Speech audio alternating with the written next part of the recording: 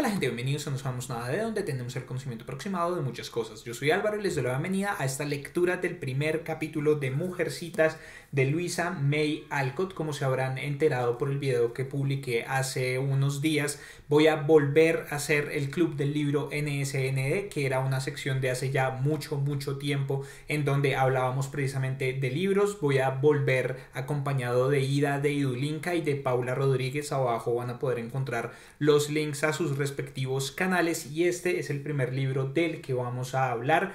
Tienen hasta el 10 de marzo por si ya lo leyeron o por si están leyéndolo también y quieren que su opinión aparezca en el video, pueden escribir un comentario o pueden mandar un video o una nota de voz o bueno, como sea que quieran que aparezca su opinión, pueden enviarla, pero entonces voy a hacer lo que hacía en esa época con el club del libro y es que voy a leer el primer capítulo para que se animen también ustedes a leerlo y acompañarnos en esta lectura de Mujercitas de Luisa May y después de todos los libros que vengan más adelante. De aquí en adelante procuraré hacer la lectura del primer capítulo del libro que vayamos a leer justo cuando haga el anuncio para ustedes, para que se animen a leerlo, para que tengan tiempo suficiente para leerlo. Esta vez no pude hacerlo porque no tenía mi copia física del libro todavía, pero bueno, a partir del próximo mes con el anuncio del próximo libro del Club del Libro NSND van a también escuchar la lectura del primer capítulo. Entonces, comencemos. Hay muchas ediciones de Mujercitas de Luisa May Alcott, pero la que yo tengo específicamente es esta de Penguin Random House. Eh,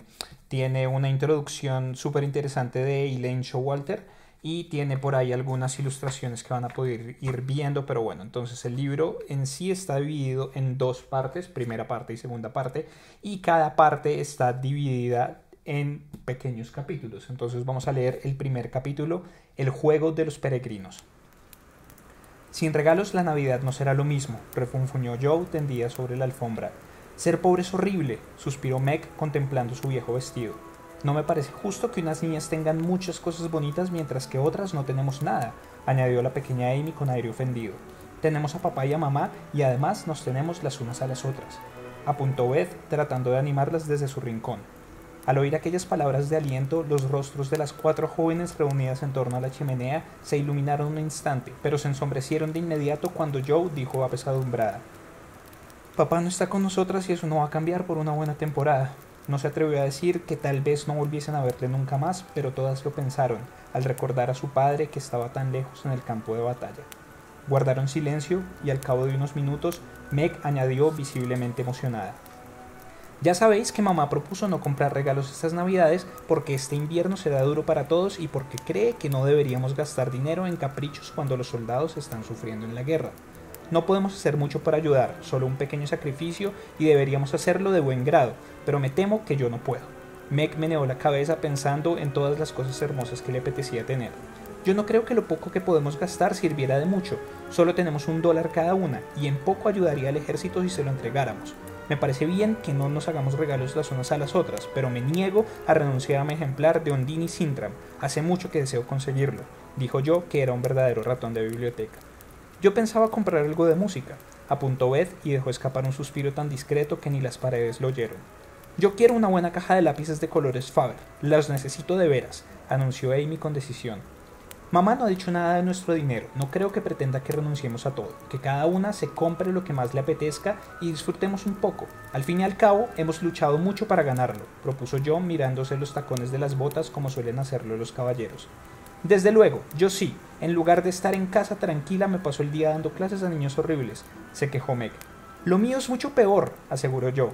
¿Qué te parecería estar encerrada durante horas con una anciana histérica y tisquimisquis, que no te deja descansar ni un minuto, que nunca está contenta y que te da tanto la lata que al final te entran ganas de bofetearla o de escapar por la ventana?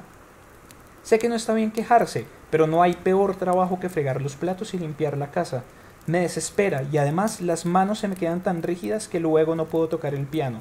Beth miró sus manos ásperas y lanzó un suspiro que esta vez todas oyeron.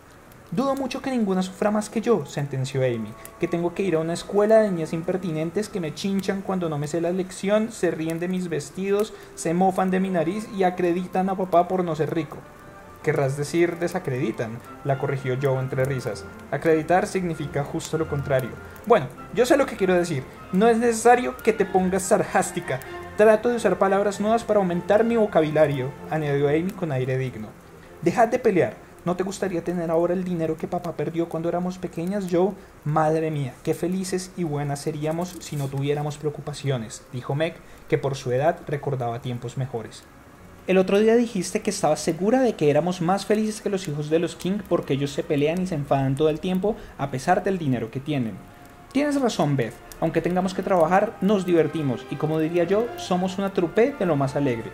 Joe dice muchas palabras vulgares, observó Amy lanzando una mirada reprobatoria a la joven que seguía tendida sobre la alfombra.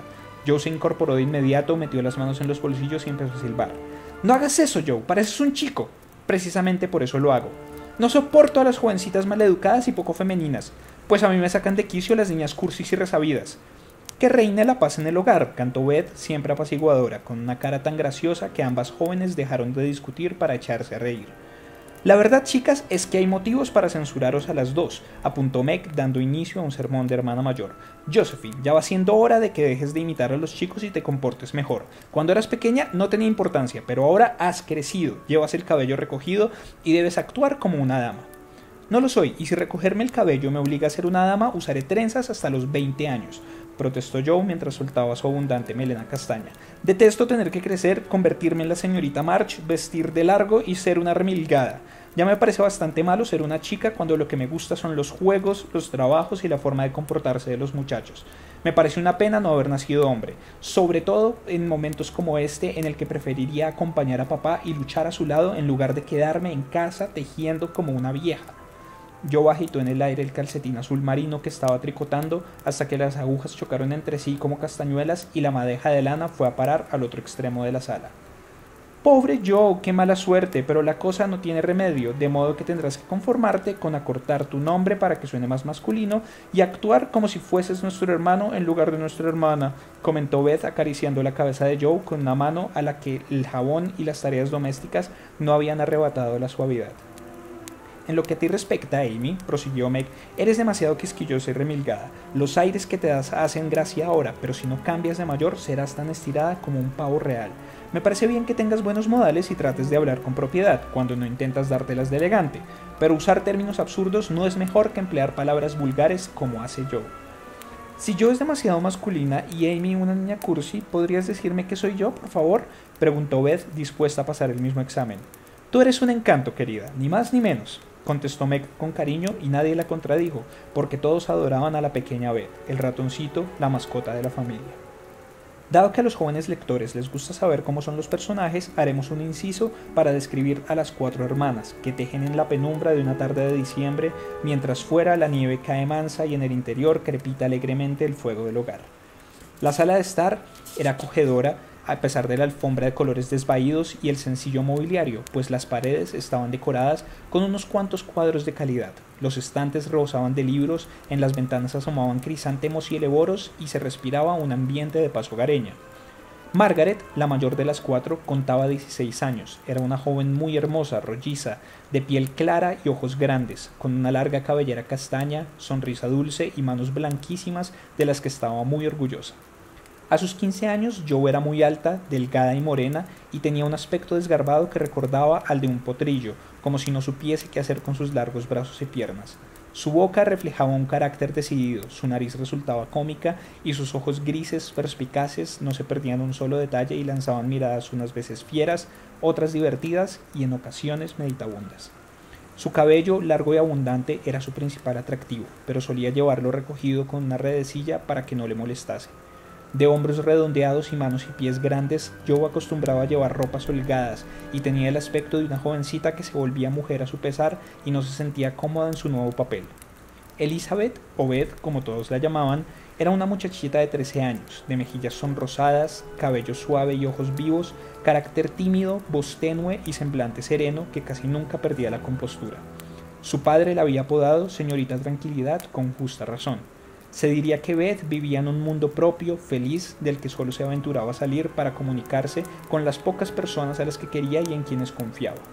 Amy, a pesar de ser la menor, era uno de los miembros más importantes de la familia, o al menos eso pensaba ella. Era una niña de tez clara, ojos azules y cabello rubio que caía en tirabuzones sobre sus hombros. Pálida y delgada, se comportaba siempre como una damita atenta a sus modales. En cuanto al carácter de las cuatro hermanas, dejaremos que el lector lo vaya descubriendo por sí mismo. El reloj dio las seis y tras barrer el hogar, Beth acercó a él un par de zapatillas viejas para que se calentaran. Aquello tuvo un efecto tranquilizador en las muchachas, pues sabían que significaba que su madre no tardaría en volver. Se prepararon para recibirla. Meg dejó de sermonear a sus hermanas e encendió la lamparita. Amy se levantó de la butaca sin que se lo pidieran y Joe se olvidó de lo cansada que estaba y se incorporó para sostener las zapatillas cerca de las llamas. Ya están muy gastadas, mamá necesita unas nuevas. Pensaba comprarle unas con mi dólar, comentó Beth. No, yo lo haré, exclamó Amy. Como la hermana mayor que soy, comenzó Meg, pero Joe la interrumpió para decir muy decidida. Ahora que papá no está, yo soy el hombre de la casa y seré yo quien le compre las zapatillas porque papá me encargó encarecidamente que en su ausencia cuidase a mamá. Ya sé qué podemos hacer, me dio Beth. En lugar de que cada una se compre algo para sí, ¿por qué no invertimos el dinero en regalos de Navidad para mamá? Es una idea excelente y muy propia de ti, exclamó Joe. ¿Qué podemos regalarle? Meditaron unos minutos muy serias. Yo le compraré unos guantes, anunció Meg mirándose las manos muy bonitas como si éstas le hubiesen inspirado. Le regalaré un hermoso par de guantes. Y yo unas buenas zapatillas, las mejores que haya, apuntó Joe. Y yo unos pañuelos bordados, dijo Meg. Yo le regalaré un frasquito de colonia, le gusta y no resulta demasiado caro, con lo que sobre me compraré algo para mí, terció Amy. ¿Cómo le daremos los regalos? preguntó Meg. Podemos dejarlo sobre la mesa, irla a buscar y ver cómo los abre, como solíamos hacer el día de nuestro cumpleaños. ¿Recordáis? contestó Joe. Claro, cuando me llegaba el turno de sentarme en la butaca con la corona puesta y os veía entrar en fila para darme los regalos y un beso, estaba asustada. Me encantaba la parte de los regalos y los besos, pero no soportaba veros ahí sentadas mirándome mientras abría los paquetes. Comentó Beth que estaba tostando pan para la cena y de paso se tostaba también el rostro. Dejaremos que Marmy piense que vamos a comprar algo para nosotras y así le daremos una buena sorpresa. Tendremos que hacer las compras mañana por la tarde. Meg, todavía hay mucho que preparar para la presentación de Nochebuena, dijo Joe mientras caminaba de un extremo a otro de la sala con las manos en la espalda mirando hacia el techo. Este será el último año que actúe con vosotras, ya soy demasiado mayor para esas cosas, observó Meg, que seguía tan entusiasmada como siempre ante la idea de disfrazarse. Mientras puedas lucir un traje largo, blanco, llevar la melena suelta y joyas de papel, no lo dejarás, te conozco.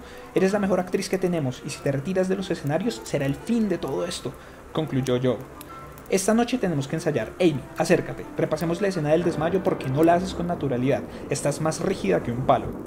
No lo puedo evitar. Nunca he visto a nadie desmayarse de verdad. No quiero tirarme de golpe al suelo como tú y acabar llena de moretones. Si puedo caer con suavidad, lo haré. Si no, me desplomaré elegantemente sobre una silla por mucho que Hugo me esté apuntando con su pistola.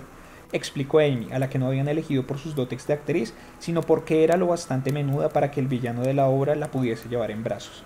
Mira, hazlo así. Junta las manos y corre por la habitación gritando frenéticamente Rodrigo, sálvame, sálvame. dijo Joe, quien acto seguido representó la escena y lanzó un grito auténticamente estremecedor. Amy trató de seguir sus indicaciones, pero agitó las manos ante sí con un movimiento rígido y empezó a andar a trompicones como si la accionara una máquina. En cuanto al grito, más que el de una persona presa del pánico y de la angustia, parecía el de alguien que se acababa de pinchar con una aguja. Joe gruñó con desesperación, Meg rió sin disimulo y Beth se le quemó el pan porque se entretuvo mirando la cómica escena. Es inútil. Cuando llegue el momento, hazlo lo mejor que puedas, pero si el público te abuchea, no me eches a mí la culpa. Ven acá, Meg. A partir de ese momento el ensayo fue sobre ruedas. Don Pedro desafió al mundo en un monólogo de dos páginas sin una sola interrupción. La bruja Gar pronunció un terrible conjuro encorvada sobre un caldero en el que hervían sapos en una escena sobrecogedora. Rodrigo se liberó de las cadenas con brío viril y Hugo murió envenenado con arsénico y atormentado por los remordimientos lanzando un salvaje ¡Ah! ¡Ah! Esta es la vez que nos ha quedado mejor, dijo Meg en cuanto el villano muerto se incorporó y se frotó los codos. No entiendo cómo puedes escribir y actuar tan bien, Joe. Estás hecha un Shakespeare, exclamó Beth, que consideraba que sus hermanas tenían un don especial para todo. No llego a tanto, repuso Joe con modestia. La maldición de la bruja, una tragedia operística, está bien, pero preferiría representar Macbeth. El problema es que no tenemos trampilla para banco. Siempre he querido hacer la escena del asesinato. ¿Eso que veo ante mí es acaso una daga? masculló Joe poniendo los ojos en blanco y haciendo el aire como había visto hacer a un famoso actor de teatro. No, es la horquilla de tostar del pan con zapatillas de mamá colgadas en ella, una aportación de Beth a la escena, apuntó Meg. Todas rieron y dieron por terminado el ensayo. Me alegro de veros tan contentas, hijas mías, dijo una voz risueña desde la puerta y actrices y público corrieron a recibir a una señora robusta y maternal. Todo en ella parecía decir ¿puedo ayudarle en algo? lo que le daba un aspecto encantador. No era especialmente bella, pero los hijos siempre consideran agraciadas a sus madres y para aquellas jóvenes la mujer con gorro pasado de moda y el abrigo gris era la más espléndida del mundo. Queridas, contadme qué tal os ha ido el día. No pude venir a comer con vosotras porque tenía que dejar listas las cajas para mañana, entre otras muchas cosas. ¿Ha venido alguien, Beth? ¿Qué tal el constipado, Meg? Yo, pareces muerta de cansancio. Ven a darme un beso, querida. Mientras formulaba aquellas preguntas maternales, la señora March se quitó las prendas mojadas, se puso las zapatillas calientes, se acomodó en la butaca, con Amy sentada en sus rodillas, y se dispuso a disfrutar del mejor momento de su ajetreado día. Las jóvenes, por su parte, se afanaron para que su madre pudiese descansar un rato. Meg puso la mesa para la cena. Joe trajo leña y colocó las sillas en su sitio sin dejar de tirar y volcar primero todo lo que pasaba por sus manos. Beth y venía de la cocina a la sala, muy seria y hacendosa, y Amy daba instrucciones a todas, sentada y cruzada de brazos. Una vez reunidas en torno a la mesa, la señora March anunció con particular alegría Tengo una sorpresa para vosotras después de la cena. Una sonrisa iluminó el rostro de las jóvenes como un repentino rayo de sol. Beth aplaudió sin recordar que tenía una galleta caliente en la mano y Joe agitó en el aire la servilleta al tiempo que exclamaba Carta, carta, tres hurras por papá. Sí, una carta muy larga. Está bien y confía en pasar el invierno mejor de lo que temíamos. Nos envía toda clase de parabienes para la Navidad y un mensaje especial para vosotras, chicas, añadió la señora March, dando unos golpecitos a su bolsillo como si guardase un gran tesoro en él. Pues démonos prisa, acabemos de cenar. Amy, haz el favor de no perder tiempo levantando el meñique para sostener con más elegancia la taza. Espetó yo, que casi se atraganta con el té y en su prisa por terminar dejó caer un trozo de pan con mantequilla sobre la alfombra. Beth ya no comió más y se fue a sentar en su rincón para pensar en la alegría que vendría a continuación mientras aguardaba a que las demás estuviesen listas. Me parece extraordinario que papá decidiera ir a la guerra como capellán cuando era demasiado mayor para alistarse y no demasiado fuerte para ser soldado, comentó emocionada Meg. ¿Cómo me hubiera gustado ir como tamborilero, vivan, ¿cómo se dice? O como enfermera, así hubiese podido estar cerca de él y ayudarle, exclamó Joe. Debe de ser muy desagradable dormir en una tienda, comer cosas repugnantes y beber agua en un caso de hojalata, dijo Amy con un suspiro. Mamá, ¿cuándo va a volver a casa? preguntó Beth con un leve temblor en la voz. Si no enferma pasará aún varios meses fuera, querida. Se quedará y cumplirá lealmente con su deber y no le pediremos que vuelva ni un minuto antes. Venid, escuchad lo que dice la carta. Se reunieron en torno a la chimenea. La madre se sentó en la butaca, Beth se colocó a sus pies, Meg y Amy a los lados y Joe detrás para que nadie pudiese ver la emoción en su rostro si la carta le conmovía. Y en una época tan dura como aquella, rara era la carta que no emocionaba, sobre todo cuando la enviaba un padre a los suyos.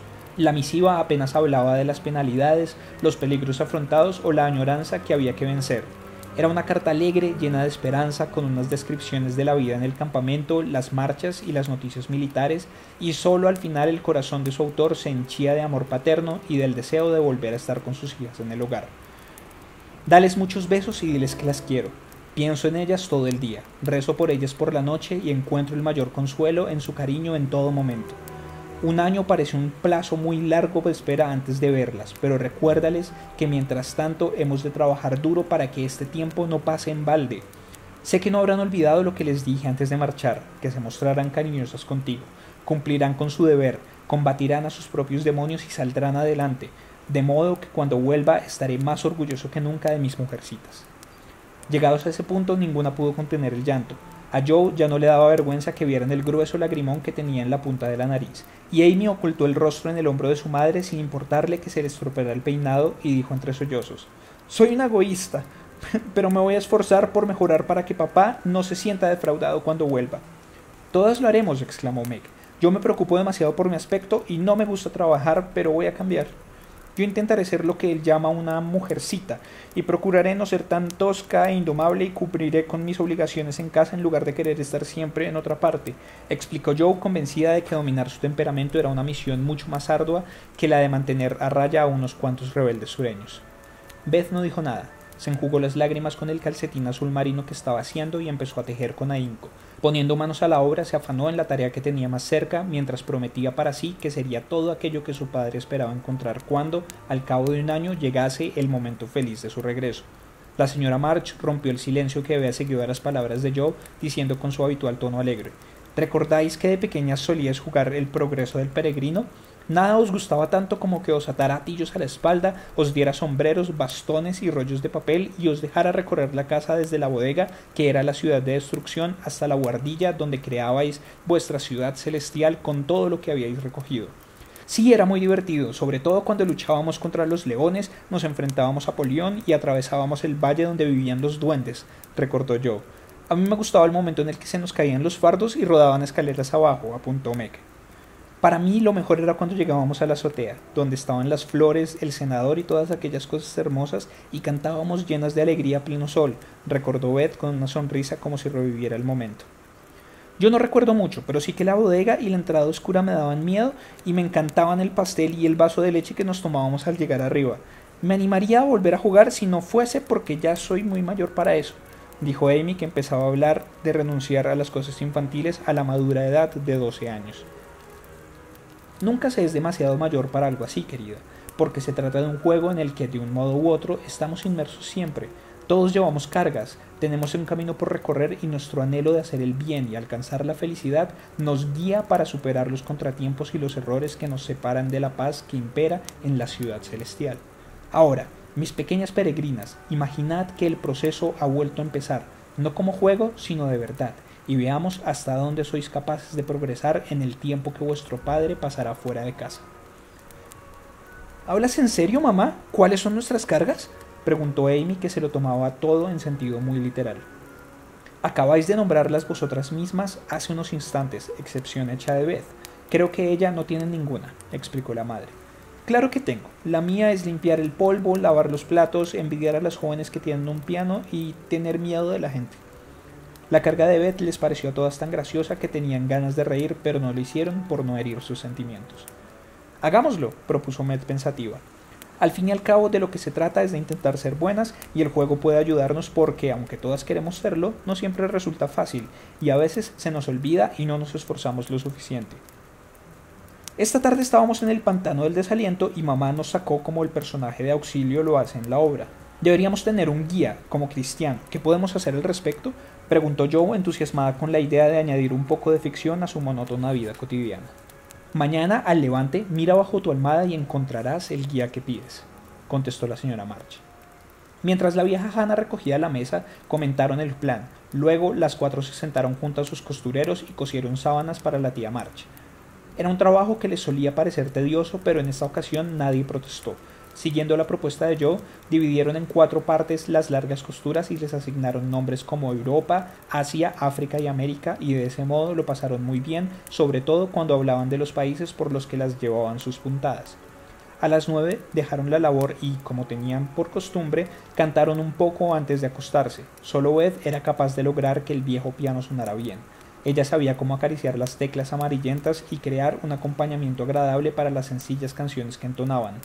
La voz de Meg sonaba como una dulce flauta y junto con su madre se encargaban de dirigir el coro. Amy desafinaba como un grillo y yo se perdía en ensoñaciones y estropeaba las melodías intercalando una corchea o un silencio donde no debía.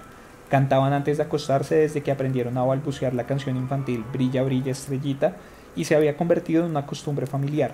La señora March tenía muy buena voz.